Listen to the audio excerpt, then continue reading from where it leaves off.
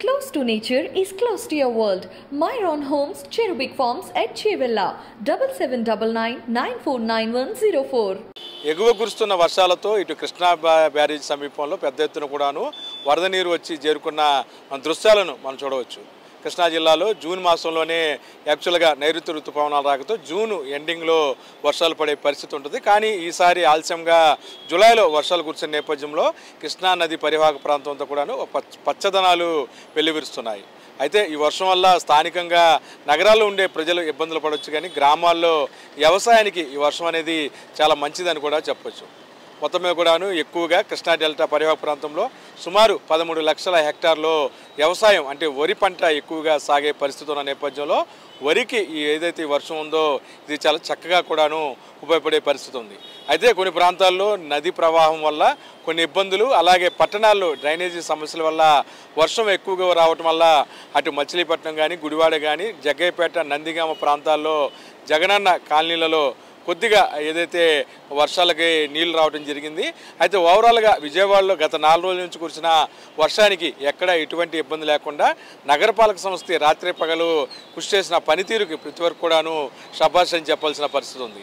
విజయవాడలో ప్రస్తుతం నేను ప్రకాశం బ్యారేజ్ వద్ద ఉన్నాను. నా ఏదైతే ప్రకాశం బ్యారేజ్ సంబంధించి డెబ్బై గేట్లలో సుమారు అరవై గేట్ల వరకు కూడాను ఎత్తి రెండు రెండు అడుగుల వరకు కూడాను నీరుని కిందకెళ్తున్న వదులుతున్నారు. అలాగే పది గేట్లను పది అడుగుల మేర వదిలే పరిస్థితి ఉంది. నిన్న కూడాను ఆ వాటర్ లెవెల్ పన్నెండు అడుగులు ఉంది. ఈరోజు కూడాను వాటర్ లెవెల్ పన్నెండు అడుగుల మేర మెయింటెనెన్స్ అవుతుంది. అయితే సుమారు తొంభై లక్షల తొంభై వేల క్యూసెక్ల నీటిని బయటికి వదులుతున్నారు. నిన్న ఎనభై వేల క్యూసెక్ల నీటిని వదిలారు. అంటే ఎక్కువ కురుస్తున్న వర్షాలతో ఈ నైట్కి ఓ లక్ష క్యూసెక్ల నీరైనా సరే అటు ప్రకాశం బ్యారేజ్ ద్వారా ఇటు దివిసీమ ప్రాంతంలో ఉన్న సముద్ర మార్గంలోకి నది వెళ్ళి కలిసే అవకాశం అయితే చాలా స్పష్టంగా కనిపిస్తుంది.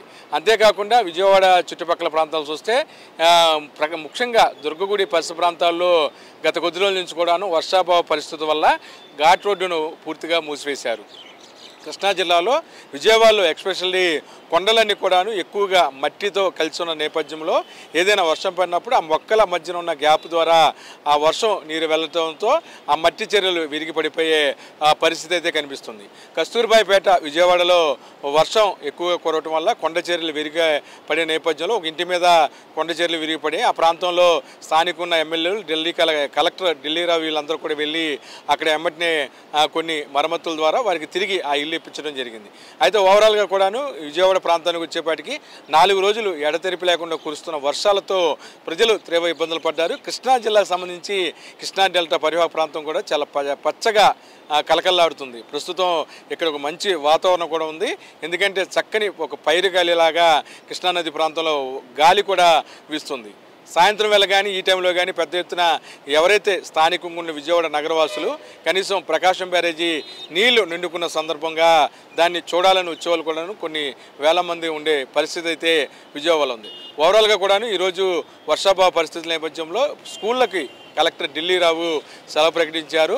వర్షాలు ఎక్కువగా ఉన్న ప్రాంతంలో ఏదైతే స్కూల్స్లోకి ప్రభుత్వ పాఠశాలలోకి నీరు వచ్చారు కాబట్టి స్కూల్స్కి సెలవు ఇచ్చిన నేపథ్యంలో ఈరోజు కొద్దిగా విద్యార్థులు రిలాక్స్ అయ్యారని కూడా చెప్పవచ్చు. మొత్తం మీద కూడాను కొద్దిగా వర్షం తగ్గింది. ప్రస్తుతం అయితే పరిస్థితి అంతా కూడా బాగుందని మనమైతే చెప్పొచ్చు వీడియో జర్నలిస్టు విజయకృష్ణతో కలిసి ఐ డ్రీమ్ కోసం అబ్దుల్ అలీం విజయవాడ.